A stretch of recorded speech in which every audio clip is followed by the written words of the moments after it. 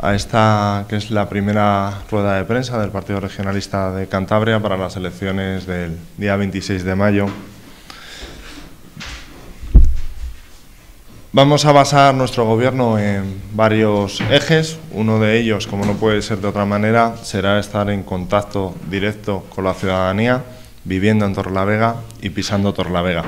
Tal y como hemos demostrado durante estos cuatro años, en los que cientos de torlaveguenses han pasado por el despacho de los concejales regionalistas y han sido atendidos de la manera que merecen. La campaña no puede ser distinta, será una campaña abierta a la ciudadanía en la que las nuevas tecnologías tomarán un peso específico diferencial y que dejarán de lado los antiguos soportes que quedarán en un lugar secundario.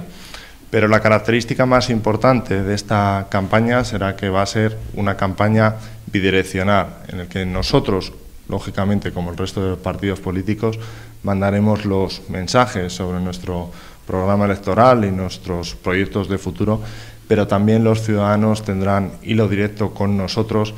por varios y diferentes medios que serán eh, plenamente accesibles para ellos para poder realizarnos las consultas, aportaciones, sugerencias o simplemente debatir con nosotros sobre el estado y el futuro de la ciudad.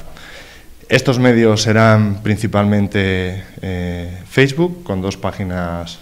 una del partido y otra del candidato, e Instagram. Ambas plataformas serán también el soporte principal para varios mensajes audiovisuales que lanzaremos con nuestras principales propuestas programáticas y que harán que podamos llegar a los hogares de nuestra ciudad con un enfoque mucho más visual, moderno, al que estamos acostumbrados en las campañas municipales. Mi WhatsApp estará abierto de manera constante a cualquier pregunta, aclaración o petición de los vecinos y además cualquier ciudadano podrá contactar con nosotros por teléfono. En los diferentes soportes publicitarios que haremos de esta campaña tendrán unas tarjetas, como podéis ver en la pantalla, en la que cualquier ciudadano podrá dejar su número de teléfono por la parte trasera y yo como candidato me pondré en contacto con ellos para cualquier pregunta, aclaración, sugerencia o debatir simplemente sobre el estado y el futuro de la ciudad, como os decía con anterioridad. Queremos llegar a todos los vecinos de Torlavega, pero queremos llegar a todos y cada uno de los vecinos de Torlavega. Los colectivos, las asociaciones, los grupos culturales vienen trabajando con nosotros, conmigo como concejal de Obras y Participación Ciudadana, pero con Jesús Sánchez como concejal de Ferias y Mercados y Deporte, con Jezabel Tazón como concejal de Comercio, como Pedro Pérez como concejal, concejal de Hacienda y Seguridad Ciudadana, pero también con Cristina García Viñas como concejala de Cultura. Hoy es el momento de seguir llegando a los vecinos, pero directamente a todos y cada uno de ellos a través de estas plataformas. De los colectivos ya lo sabemos todos, sabemos los problemas que tienen, sabemos los, los proyectos que necesitan y a ellos sí nos dirigiremos con proyectos específicos, pero no preguntándoles sus necesidades, pues son plenamente conocidas por cualquiera que lleve en esta corporación trabajando esta última legislatura.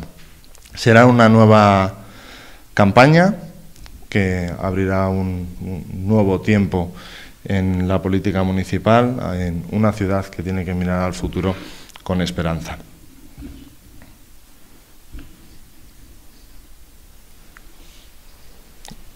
Os voy a poner el vídeo de soporte inicial de la campaña.